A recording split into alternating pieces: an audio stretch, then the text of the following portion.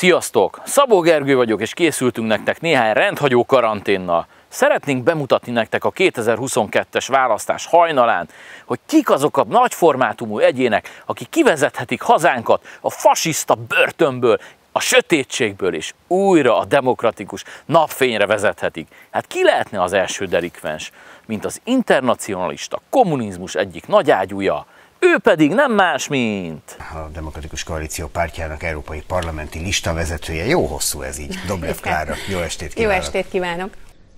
Meg!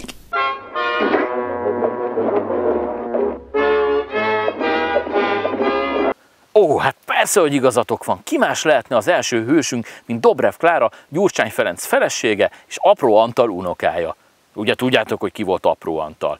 Kádár János egyik legundorítóbb és leggusztustalanabb férge, az eltiport 1956-os magyar forradalom rohadt bosszúállója. Dobrev Klára nagyapja Apró Antal volt, az 1956 utáni kegyetlen kommunista megtorlás egyik főszereplője, és a család jó része is nem csak kiszolgálója, hanem haszonélvezője volt a kommunista rendszernek. Gyurcsány Ferenc és Dobrev Klára ma is abban a villában lakik, amelyet az apró családi jutalomból az 1956 utáni megtorlásokért, köztük Nagy Imre koncepciós peréért kapott. Ráadásul Gyurcsány Ferenc és Dobrev Klára politikai és gazdasági kapcsolatrendszerének egy részét is a kommunista rendszernek köszönheti. Emlékeztetőül ma elhoztuk ide, hogy kiknek köszönhetik ezt a villát, Rákosi Mátyásnak és Apró Antalnak, valamint elhoztuk az 1956 utáni megtorlásokban kivégzettek listáját, hogy soha ne feledjük az emléküket. Ó, ugye milyen szép ember ez az Apró Antal, és róla még sokat lehetne regélni. De lépjünk túl az anyai nagypapán, és nézzük meg, hogy vajon ki volt Dobrev Klára édesapja. Nagyágyú volt, de sokat róla nem lehet tudni. Egy viszont biztos, megbízható kommunista volt testvérországokban az állambiztonság és a titkos szolgálatok felépítése szovjet mintára történt meg, tehát a működésük nyilván kisebb eltérések vannak, de alapvetően egyforma. Tehát azt, hogy egy ilyen cég élén egy olyan ember álljon, aki nem titkos szolgálati ember, elképzelhetetlen. Tehát nyilván a Dobrev a, a, a bolgár titkos szolgálatnak volt az embere apró piroskával ugye összeházasodtak, és, és hát ma éppen a, a leányuk Dobrev Klára az, aki az Európai Unió parlamentjében ülve támadja Magyarországot. Undorító, elcseszett képű ribanc! Egy dolgot mindenképpen le kell szögeznünk. Senkit sem ítélhetünk el a felmenői bűnei miatt. Ez így korrekt és így igazságos. De aki anyateljel szívta magába a kommunizmust, aki büszkén él egy zsidó családtól rekvirált villában a férjével, Gyurcsány Ferenccel és a gyerekeivel, azt miért tartsuk jellemes embernek? Igen, ez Dobrev Klára, aki csak hazudik, és most is a magyarság ellen ágál mindenhol. De ő ezt egészen másképpen fogalmazta meg. Mind azzal, amit az én nagyszüleim képviseltek, azzal egyáltalán nem tudok azonosulni. Minden másról szól, amit gondolok az életről és a politikáról.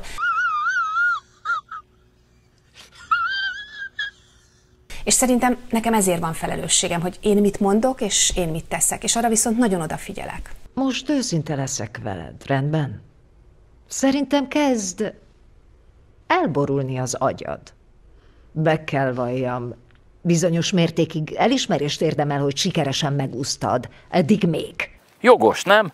Hát Dobrev Klárának megint igaza van. Nagyon odafigyel. Például így. Én látom, hogy mitől működik jól egy állam, és azt is láttam, hogy milyen az, amikor összeomlik. És az, amit az elmúlt egy évben tapasztaltunk, az az összeomlás. Olyan régóta mondjuk, hogy a magyar állam folyamatosan erodálódik, romlik, hogy az oktatás, az egészségügy, a környezetvédelmi hatóság, a műemlékvédelem, bárhova nyúlok, mindenhol romlik. Te hülye vagy, bazd meg! De az a fajta totális összeomlás, amit az elmúlt hónapokban láttunk, az, az egész egyszerűen drámai Tehát volt. önben a járvány gyorsította fel a döntést? Igen.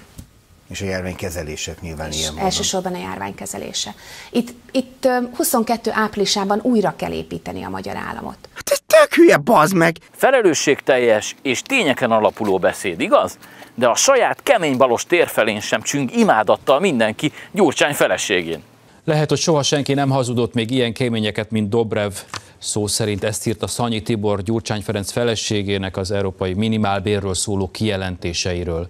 Ez átverés, átverés, átverés az egész! Dobrev Klára reggel, délben és este hazudozva úgy értelmezi ezt a konzervatív javaslatot, hogy a DK még inkább ő maga egy szemében elintézte az összes európai melósnak az egységes európai minimálbér kánaánját. Ezt írta a saját cikkét idézve Szanyi Tibor a közösségi oldalon. A politikus úgy fogalmaz, Dobrev Klára olyan jól hangzó dolgokat mond, amik egyébként hülyeségek, pontosabban hazugságok. Mint írta, idézem, ebben a témában tényleg lehet, hogy soha senki nem hazudott még ilyen keményeket, mint Dobrev.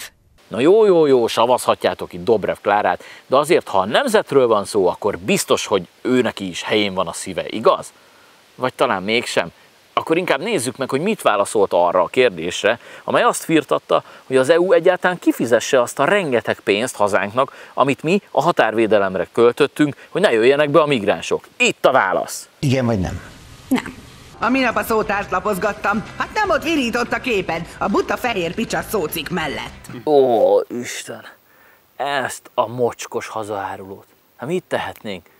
Ígyunk erre egyet, Feri. 5 órakor, 15 órakor, Mi van? három órakor van, akkor- amikor nem lehet inni. Érti? Addig lehet inni? Addig lehet. És ön ivott már ma? Igen. Az ne kommunistázom. A kommunista nem az, aki vörös csillagot visel a sapkáján. Évek óta ismerem, nála aljasabb rohadt patkányt nem hordott hátán a föld. Nincs olyan jellemző, amelyet ne tudnék elmondani erre a kormányra.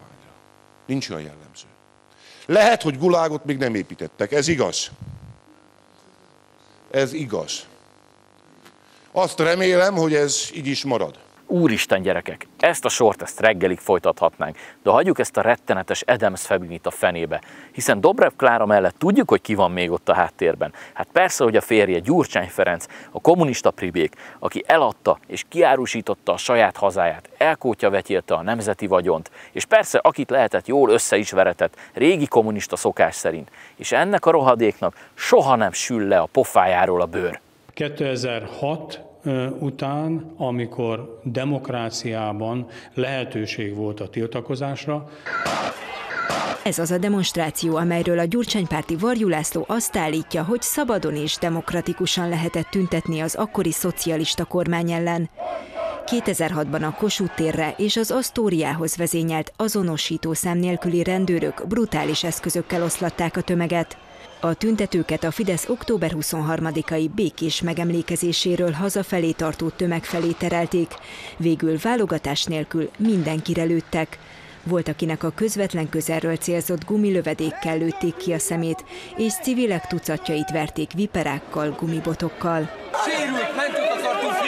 Ez volt Gyurcsány Feri, az igazság bajnoka és hazátlan áruló felesége Dobrev Klára. Folytatjuk majd a sort, de egyelőre azon gondolkodjatok el, hogy mit várhatunk Feritől és a feleségétől. Akinek van szeme látta, akinek van füle hallotta, hogy miket csináltak. És tudjátok, hogy mi vár ránk, ha visszatérnek. Azt minden paraszt hátuljába beleerestek egy-két golyót.